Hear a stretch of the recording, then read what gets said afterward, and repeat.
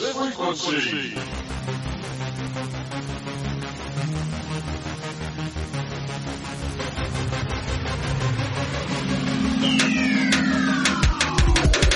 You're listening to the Keith Blakemore Noble Radio Show.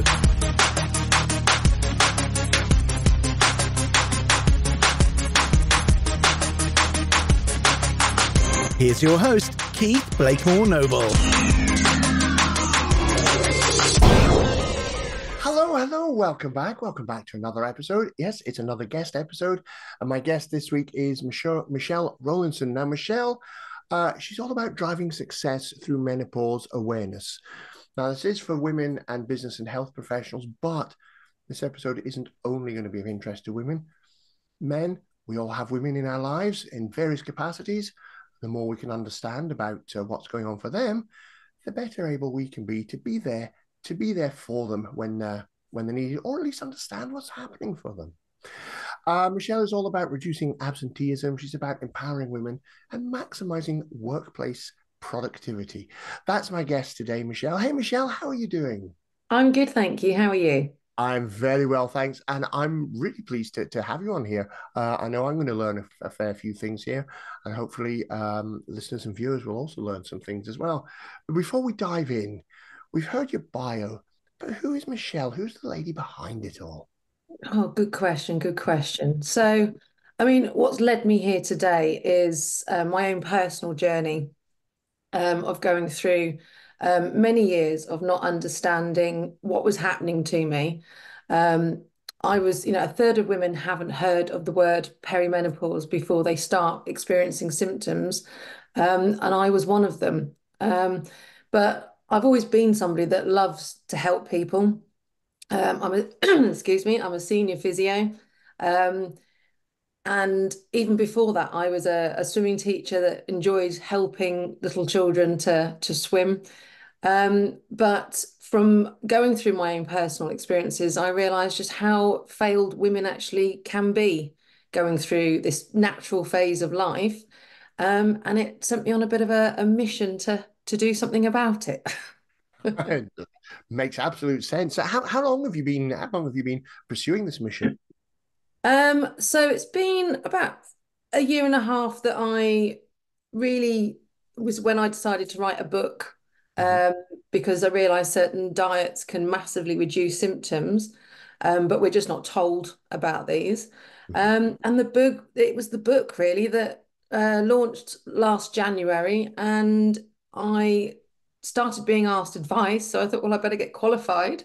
Um, and um, and it just spiraled from there. The more I sort of went down this this route, the more I realised that you know women just aren't getting the help, and it's a global thing, not just a, a UK thing. But um, and then it was last year, so I was already doing workshops for businesses and one to ones, but it was last year when I realised actually all health professionals need to have this training because not one health professional along my journey ever mentioned menopause. And even as a physio, I knew that women were more predisposed to frozen shoulder, tendinopathies, joint pain.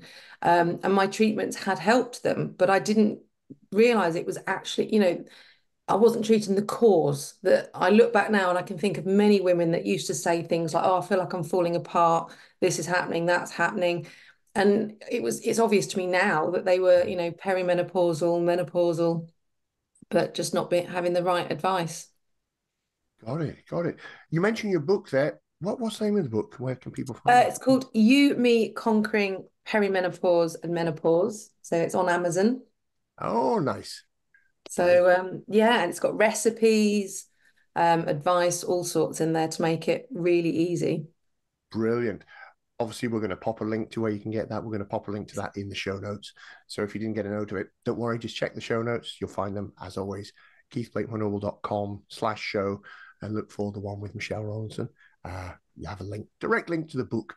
Uh, well worth checking out now you mentioned two terms two terms there i want to explore both of them uh, menopause and perimenopause so let, let's start with menopause which is the one most people will, will have heard of now I know there's all sorts of myths and uh, all sorts of um, stories and, and, so on about it.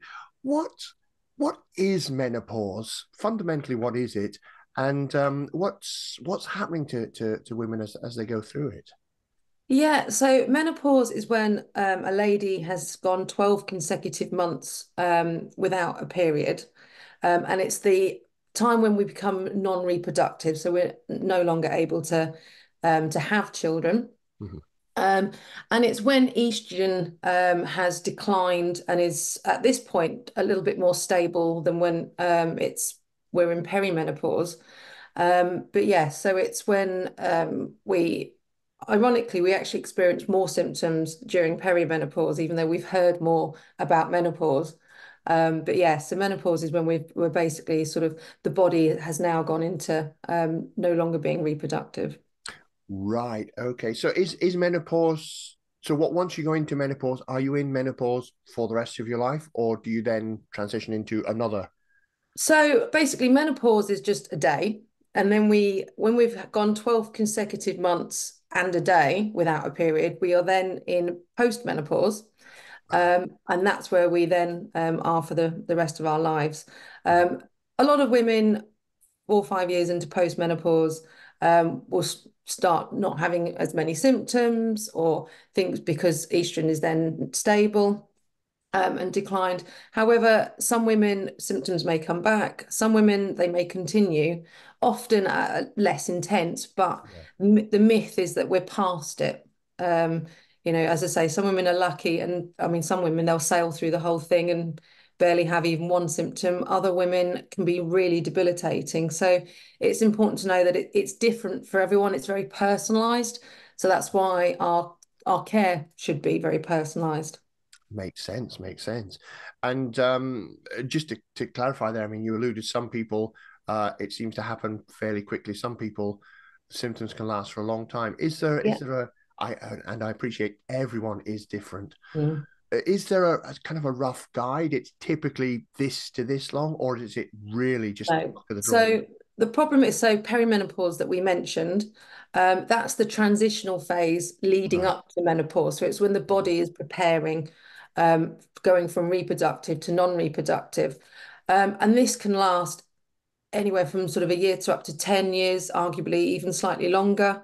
So it, you know, some women, it, it's it's just very very different, um, and that's the important thing to know is that perimenopause itself can last quite a number of years, um, and has, you know, we've we've got estrogen receptors virtually in everything, so virtually everything you know can be affected, but you know like i say some women sail through other women you know it's it's psychological as well as physical symptoms.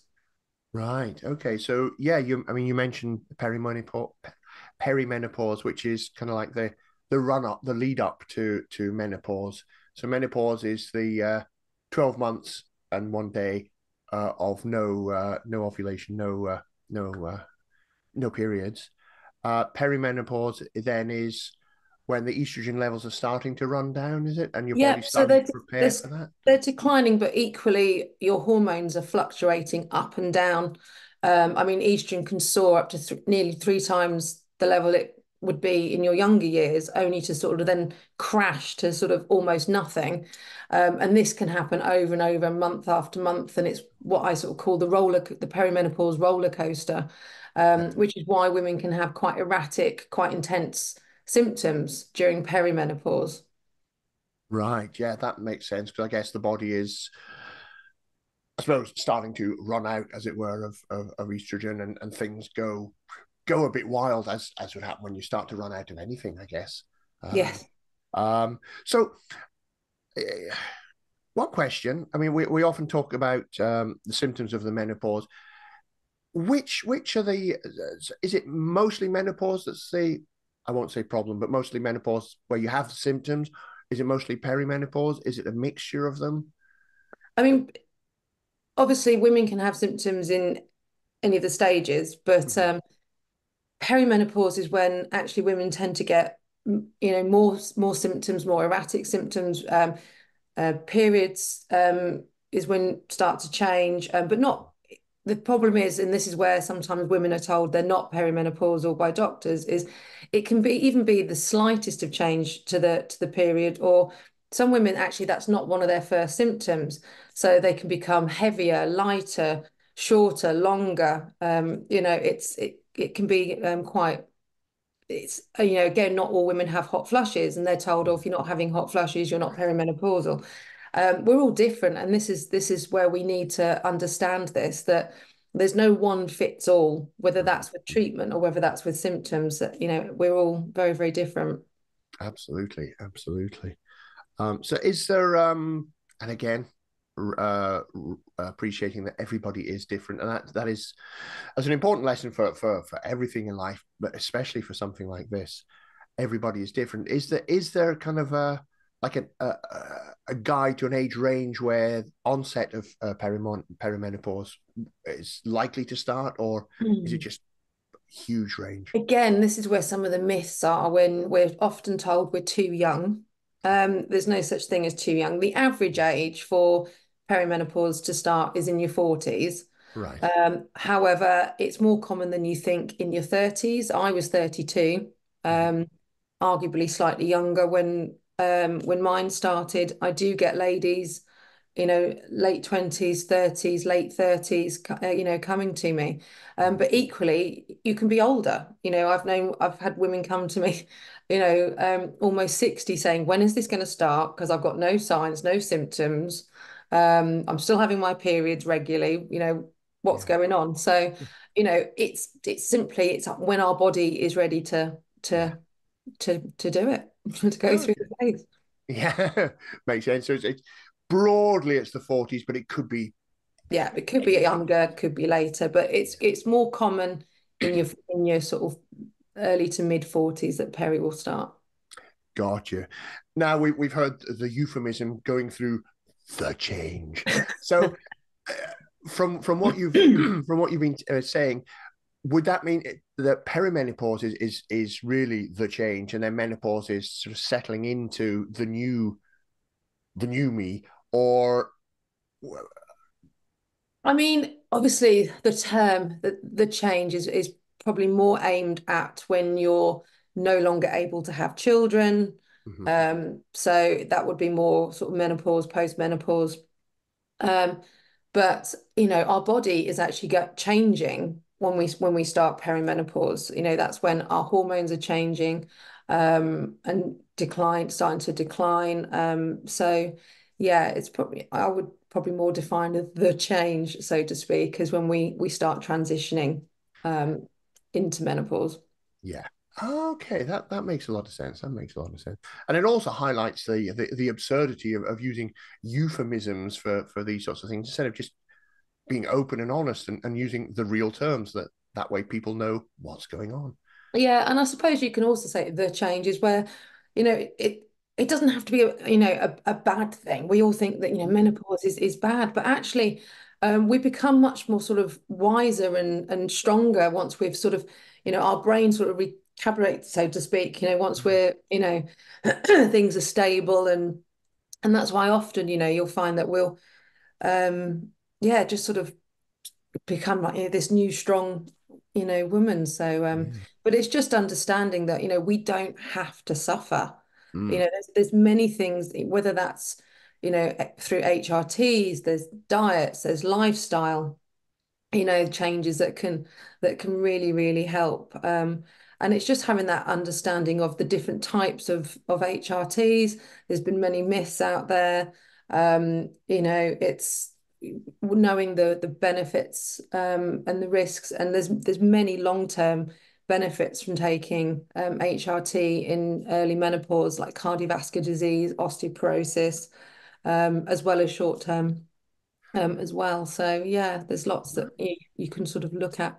Yeah. Okay. So let's let's have a look at uh, some of the, some of the, the, the treatments and some of the ways you can we can help. just a moment. Just before we do, um, what, what I mean, we we've we've touched on some of the symptoms, and I, from what you've been saying, there's a much wider range than perhaps many people uh, appreciate or realize.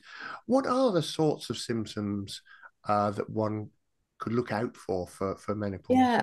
Very. Gosh, um, I mean, some of the more obvious ones are sort of night sweats, um, hot flashes, um, insomnia. Um, and often it's not just a, we all think of insomnia as not being able to go to sleep. Um, it's actually really common that we'll wake up at like three in the morning and that's it. We just can't go back to sleep. Um, so yeah, it's um, that's quite a common one. Um, things like heart palpitations. Um, I'll reel off some of the ones that I was getting. So acne, um, hair falling out, um, weight gain, particularly around the middle, um, is quite a common one. Um, gum issues. Um, we we often we get free dental care when we're pregnant because we're more likely to have gum issues and lose our teeth. Well, actually, it's the same hormones going on, and um, it's quite common actually for women to have sort of gum issues. Um, all of these symptoms, obviously, you should always check to rule out, you know, any other causes. So I always sort of say that because things like um, metallic taste um, on you know, in your mouth or burning tongue, which obviously can be other conditions. So it's things to to rule out. Um, brain fog, memory loss, mood swings, anxiety attacks. I used to have crippling anxiety attacks. Um, I write about it in my book where I, I literally had to run out the supermarket, excuse me, because I was worried I was getting the wrong cereal. You know, you laugh about it now, but it's, you know, yeah, at the time, you know, at the time it was really scary. Um, yeah, lots. There's so many sort of itchy ear. That was one that my TikTok went nuts when I sort of mentioned itchy ear, and lots of women like, yes, I'm told it's nothing to do with the menopause, but it's just where the skin um, is drier and less elastic and changing. So that's why. Mm. Um, but yeah, lots. There's so many, so many symptoms that um, sort of digestive as well. Um, yeah, you could sort of yeah. Basically estrogen receptors are as I mentioned, you know, virtually in everything. So virtually dry, gritty eyes was another one that I used to get a lot. Goodness me, yeah. So a, a huge range of symptoms, as you say, and of course, just having one one or two of those symptoms doesn't necessarily mean mm. you're entering perimenopause, but it a group it's of them bigger, can be yeah. a sign that this is yeah. So I often advise, you know, journal your symptoms. Don't fixate, but journal your symptoms if you're planning to go to the doctor. Um, because you know if you i mean i, I was guilty of it. I just sort of piecemealed one by one. So i was just sort of told i was depressed or told this or told that. So um, if you go with like all your symptoms hmm. um, then it makes it a bit easier for the for the doctor as well. That makes sense i guess yeah. Especially these days where they have so little time for each, oh exactly each consultation. So the, the better prepared you can be with with the Def- definitely here's, here's my symptoms here's a diary of it definitely. And if you think, um, you know, if you're not being sort of listened to so as such, or maybe you're being told you're too young, take some literature with you um, on perimenopause with age and things like that. Um, journal definitely. If you're 45 and over, NICE guidelines um, will state that you know you can go by symptoms rather than um, blood test, um, because unfortunately because our hormones are fluctuating, mm, yeah. it, it, means that the blood tests often can come back as normal, so to speak, um, when actually we are in peri. So it's yeah. um, that's one of the other um, problems with with the blood tests. Um, they're more accurate actually later in life when things are stable, when actually we no longer need the blood tests. Yes. so yeah.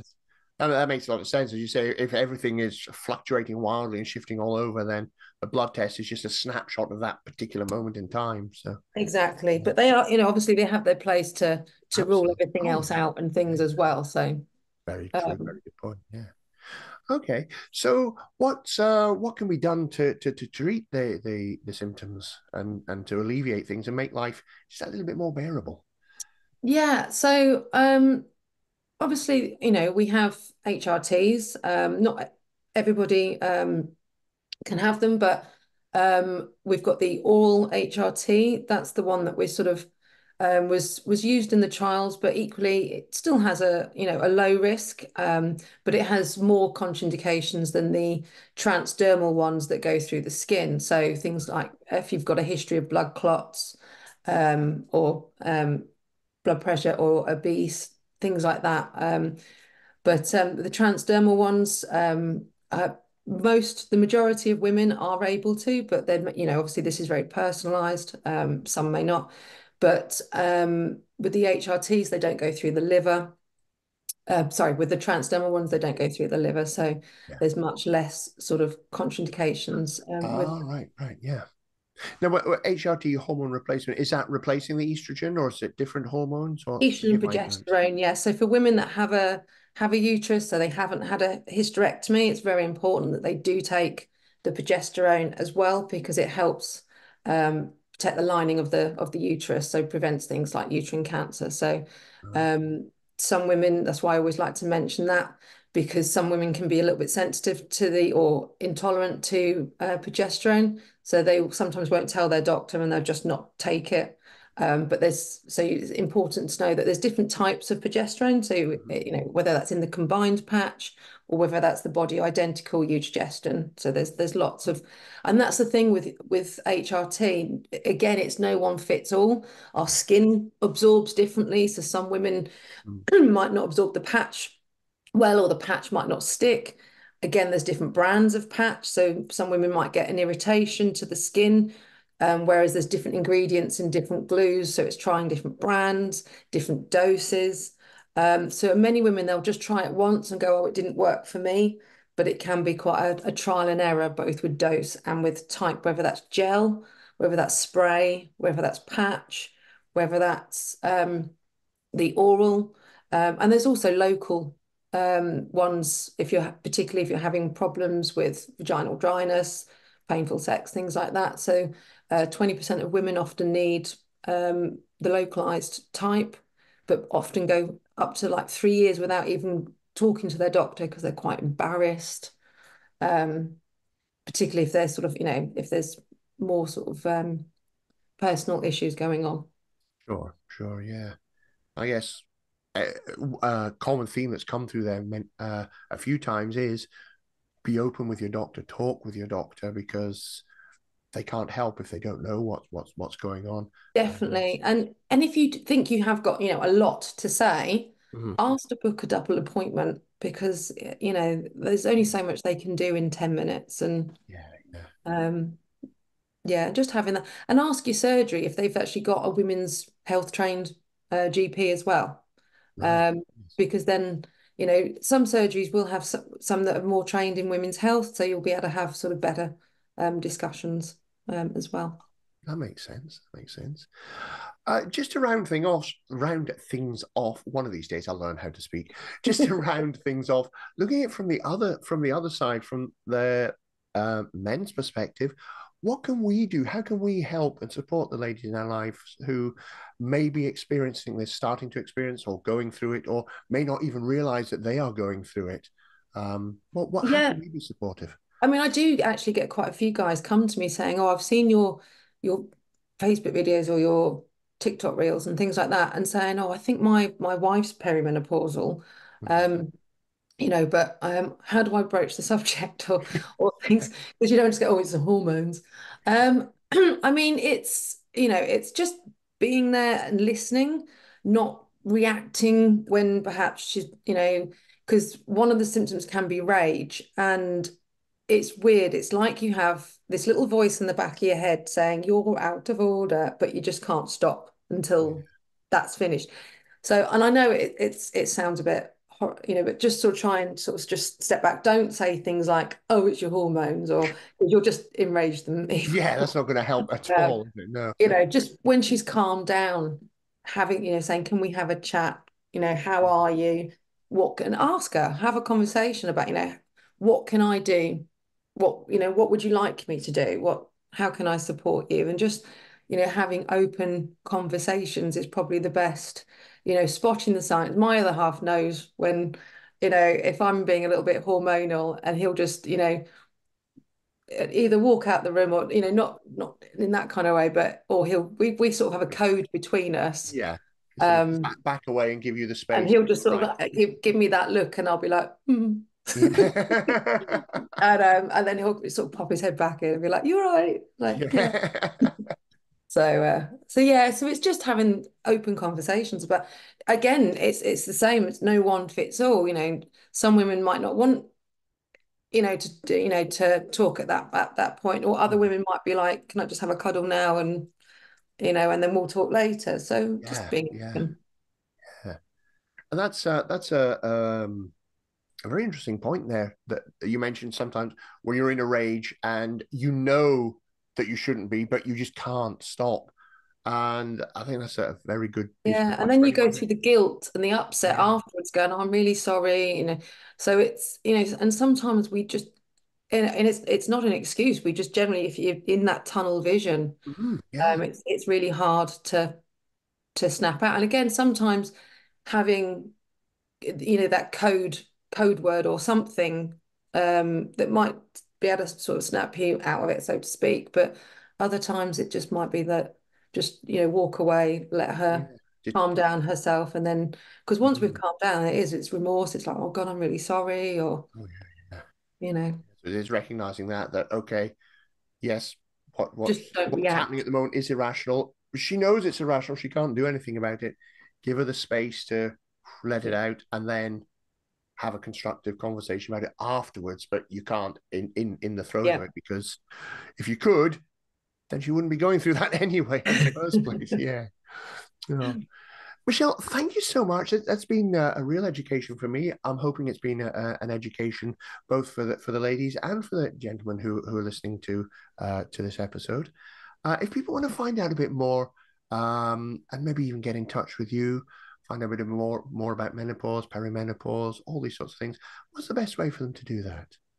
Yeah, so probably my my website, um, so panaceapause.co.uk, um, where you can um, either write a message and I'll get an email and I'll give you a call back, or um, yeah, or I just book a call um, and we can have a chat. So I do free consultation, so we can just have a chat, whether that's for a one to one, for a business workshop, um, or to inquire about uh, my health professionals uh, CPD course that's coming out very soon.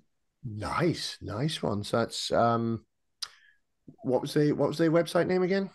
Uh, Panacea Pause. So P A N A E C E A Pause P A U S E dot co dot uk.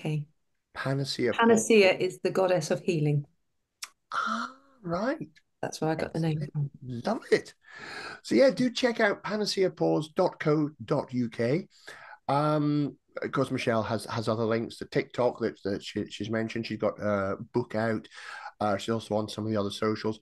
All the links for all of that will be in the show notes, as always. KeithBlakemoreNoble.com slash show and look for the one with uh, Michelle Rowlinson.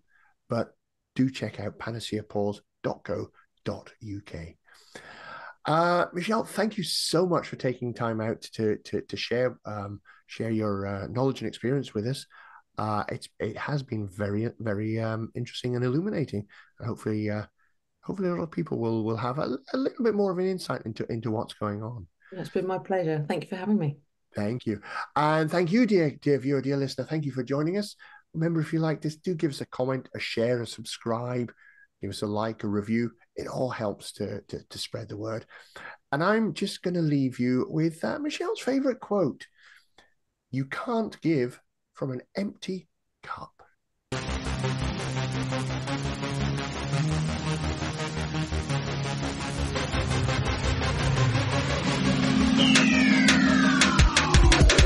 You've been listening to the Keith Blakemore Noble Radio Show.